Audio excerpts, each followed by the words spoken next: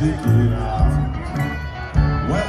back to the same old things that we laughed about.